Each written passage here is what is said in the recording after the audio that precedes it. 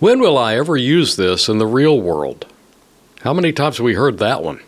How STEM and STEAM helps to bring it all together is our focus today on the Inside Scoop. Hello and welcome back to the Inside Scoop. I'm David Owen. STEM and STEAM are programs or methods of teaching that have been around for years now. But how much do we really know about them? Here to teach us more is the supervisor for STEM, STEAM, and Innovation, Dr. Adam Casey. Welcome to the podcast. Thank you for having me, David. Appreciate it. Uh, tell us what STEM and STEAM has become or is in Cobb County schools today? Yeah, well, STEM and STEAM has been around for quite some time. We're going on about 15 years in Cobb County. Oh, wow, 15. Mm-hmm. About 15 years. And, and STEM originated in the early 2000s um, when colleges were noticing and companies were noticing that high school students in particular were not prepared or equipped for the new tech jobs that yeah. started rolling out. Sure. And so, about that time, the National Science Foundation determined we needed to do something about that.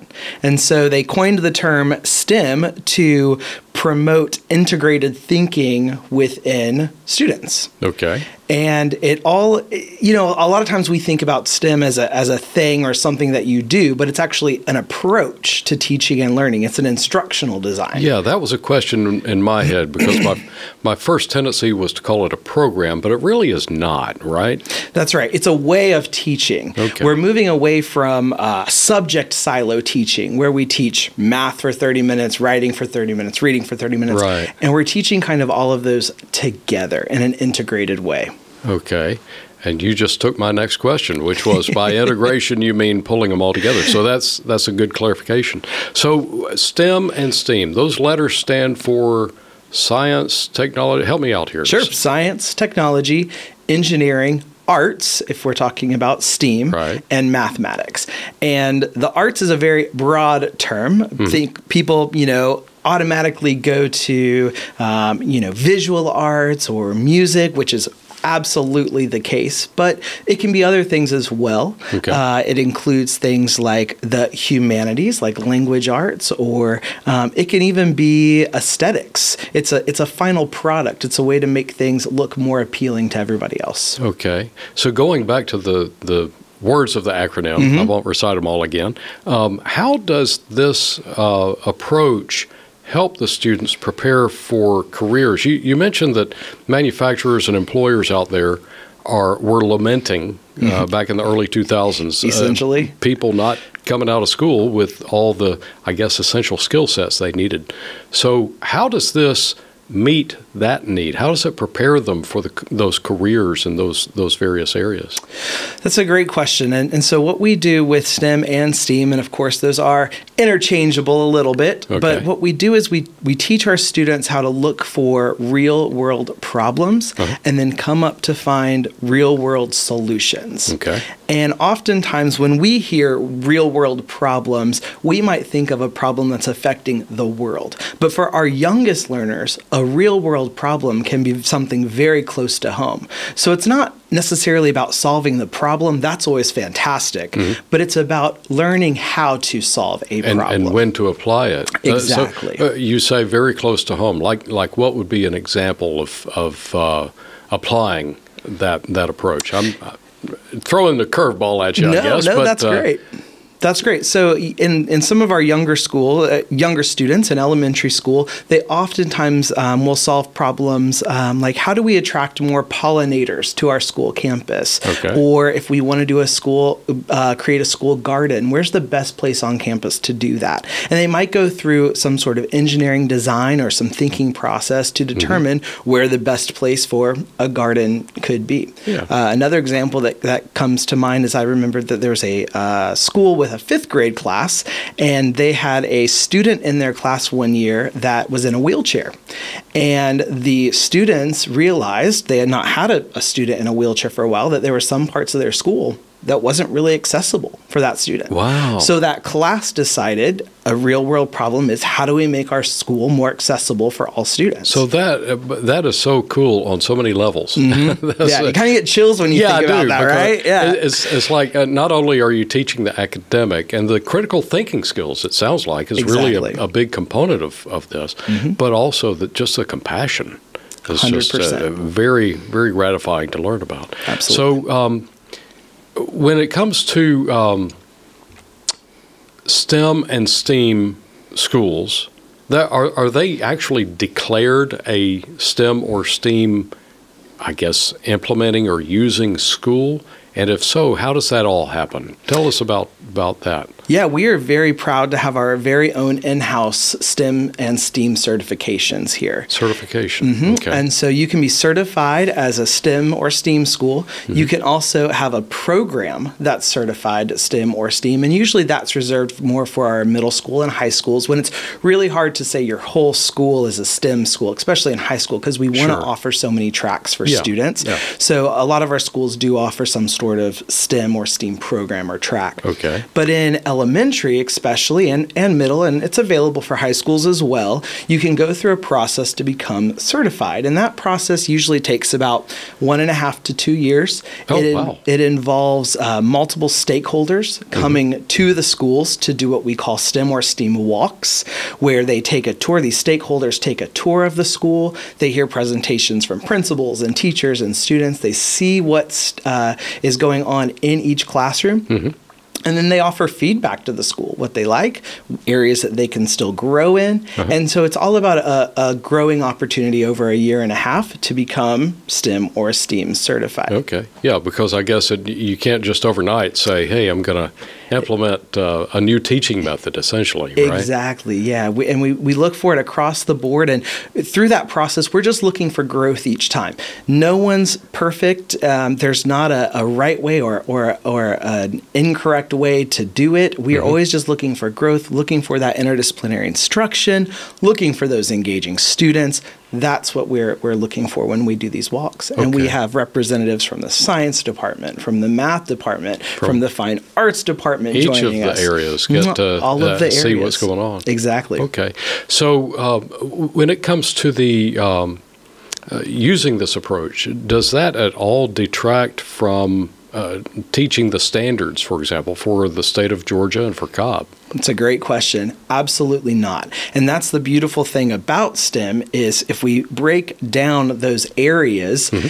each of those areas have their own set of standards. Okay. And so that's what makes us stand out a little bit from the math department and the science department and even our engineering CTAE department Mm-hmm. for middle and high schools. That's what makes us stand out because we're pulling a little bit of all of these departments together. We're really an, an integrated department. Yeah. And so we ground all of our work in the academic standards.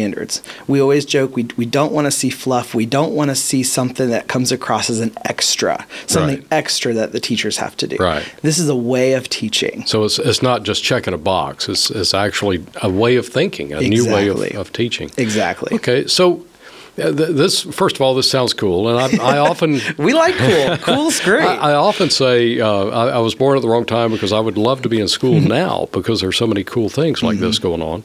Uh, I've even heard of uh, I think uh, drones being implemented and and uh, uh, some of the courses. Rela- well, I won't get into the weeds there. I guess That's another podcast. Yes, another podcast. um, so we've got a lot of schools. I mean, uh, how do you? I I guess maybe this goes back to your uh, your certification program, Mm-hmm. but how do you ensure that all the schools are, are getting the same STEM approach, or, or do they have to have the same approach? they don't have to have the same approach. And that's Okay. kind of the beauty of the program.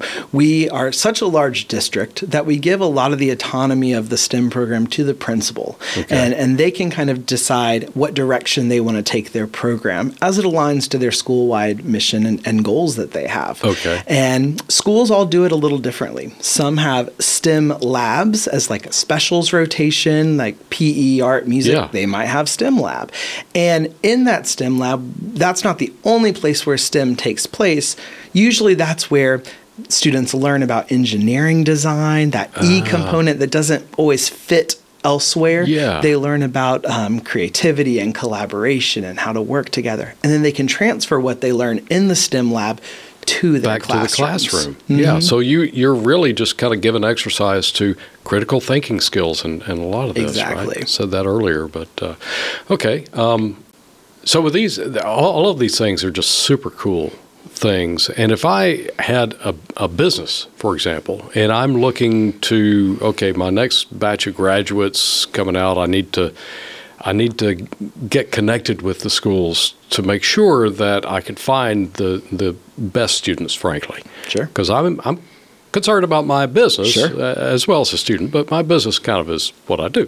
That's right. so how can they, the businesses, or for that matter, anybody in the community, get connected with the schools to support STEM and STEAM teaching? Is is that a thing, or is this kind of a you just do it inside the school and that's it? Absolutely. In fact, in on our STEM criteria, one of the requirements that our schools are required to have to obtain certification is a relationship with local community businesses and partnerships. Okay. Right. And so I would absolutely encourage any business if they're interested in getting involved with this program to reach out to their local schools, reach out to the principals. Okay. We're familiar with, you know, the term partner in, in education. That's Right, something that's right. been around The for a while. Yes, thing. exactly. And those are fantastic partnerships. With our STEM and STEAM partnerships, we like to take it one level deeper, if you will. Okay. And so we like a continual relationship, um, something that goes back and forth where communities or, or, or businesses are coming into the schools Mm-hmm. and working with the students and sharing what they do with their business as it relates to STEM or STEAM. Oh, wow. And maybe even turning that relationship into a field trip where the students are then going to see the business and seeing what takes place Yeah. in the business. And so they can, they literally can see the real world application of what they've just learned. Absolutely. perhaps. One one business that comes to mind very quickly that many schools have a relationship with is Pike's Nursery,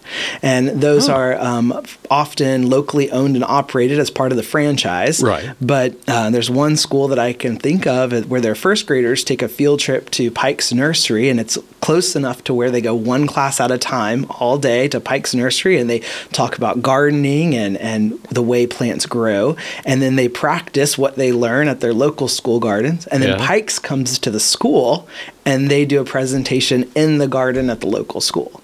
It's kind of that That's back and forth relationship Yeah. that we look for with our STEM partnerships. Yeah, and then um, the, my next question was how can parents um also partner with the school? And, and frankly, you kind of just gave me the answer a little bit. As soon as those kids learn how to take care of their school garden, you can send them out to do yard work, right? Is that is that kind of That's one way. Okay, all definitely. right. That That- is legit. That, that is one All way. right. Um, you know, our STEM programs don't receive the same funding or receive funds the same way as some of the, the core subject areas. Right. So a lot of our uh, support and even local school funding for STEM come from parent groups, come from the PTA or our school foundations. Okay. And so in many schools, the parents are very much involved in what's going on in STEM at the local schools. But if you're a parent that either works for a company that might fall under that STEM umbrella, and most companies do, you can. Somewhere. find a connection somewhere. there's a letter that represents your Exactly, exactly. We always encourage parents to reach out and get involved. Okay, and they might even uh, well, first of all, uh, thinking of as a former business owner, um, uh, if if uh, business were to donate materials, for example, Mm-hmm. um, shovels, picks, Yes. um, weed eaters. Yes. I'm thinking of my yard. Um, Yeah. Uh-huh. I see But, where you're uh. Yeah, I mean, uh, th- those would be. Tax deductible in theory. Sure. Uh, you check with your own. I'm not a tax guy, but uh, it, it seems to me that that would be a, a great collaborative thing. Uh, we could always use the help, always use the interest, right? That's right. That's right. Consumable supplies, anything that you might have to donate. You know, part of the engineering design is is creating, and so students Mm-hmm. are often tasked with creating prototypes or models of something, and any type of supplies. I'm sure the scho- schools would be happy to accept. Okay. So you mentioned reaching out to the schools, parents uh, connecting. How can are, are there links? Is there a, a website that uh, people can go to to to help make these connections, or is it just find a school that's STEM certified and, and dig deeper. So I think one thing to remember, especially about my department, is I, I am the supervisor of STEM STEAM, but there's a third word in my title, and it's STEM STEAM and innovation. Yeah. And so we include innovation because for a lot of schools, they might not fall under that STEM umbrella in the sense that they say, you know, STEM is something that we're working towards right now. But a lot of schools are on the cusp of innovative ideas and experiences. Okay. So I would say there's not one school in Cobb County that's not Okay. innovative in some way. And so Yeah. that's how kind of my department works with all schools, not just those pursuing Sure. STEM or STEAM certification. Yeah. But with that in mind, yes, I think all schools would be open to collaborating with community partners and parents. But of course, we do have a list of our STEM certified schools, and that can be found on the Cobb K 12 website Okay. um, under our department And website. we'll, we'll put the link so it's easy for them to find that. it. Absolutely. Okay, well that's fantastic. And maybe when you reach out to the school, you could say, "Hey, I specifically am interested in in innovative uh, STEM, STEAM-ish uh, practices, if not uh, certified schools." So, That's right. And well, it, yeah, and if you're not sure how to um, reach out or where to reach out or what school might be in your area, if you are a business leader, that's what my department is here to do: help match some people up. And we will make sure his personal phone number is There you go. in the, or at least the link to his department. That is works, there. okay. Well, Adam, thank you so much for coming in and uh, educating me. I've, I've been here for quite a while, and I kind of knew generally what what you guys do, but didn't know all the details that really make it kind of the sweet spot. I think. So that's fantastic. Thanks for coming in. Absolutely. Thanks for having me. So if you found this helpful or informative, like and subscribe uh, to this podcast and make sure you share it with a friend. You never know, that friend might be an owner of a business or maybe just a parent who wants to participate in STEM, STEM and STEAM. And uh, you heard that there are lots of opportunities for that. So thank you for listening to this edition of The Inside Scoop, a podcast produced by the Cobb County School District.